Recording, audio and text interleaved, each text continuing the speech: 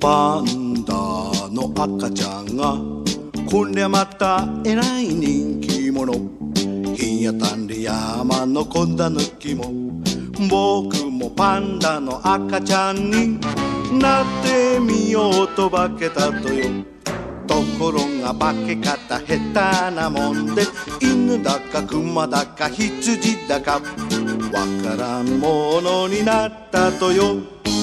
それを見つけて喜んだのは日当たり村の子供たち。同じの山には変なのいるぞ。あれは一体なんだろう。パンダみたいだパンダロなんだろう。パンダロなんだろう。パンダロなんだろう。パンダロなんだろう。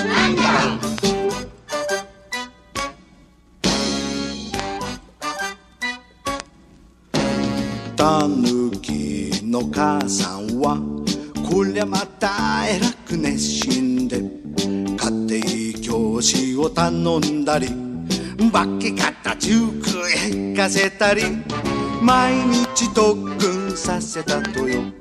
ところがさっぱり下手なもんでなんだかパンだかタヌキだかわからんものになったとよ。それがところが日本中で小狸くんは人気者。ラジオもテレビも新聞も。あれは一体なんだろう？パンダみたいだパンダロなんだろう？パンダロなんだろう？パンダロなんだろう？パンダロなんだろう？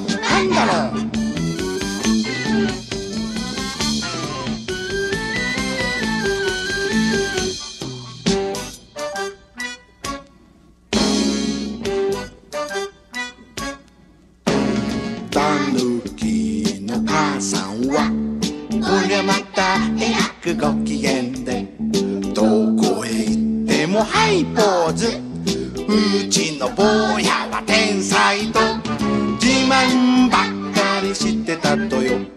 ところが小たぬき飽きたもんで化けているのをやめたからただのたぬきになったとよ。あっと間に日本中が小だぬきなんか忘れても日当たり山では風が歌うよ。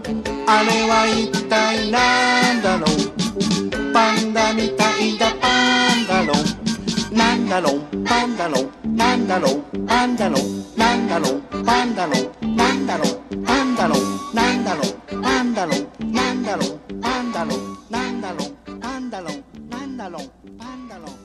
escándalo.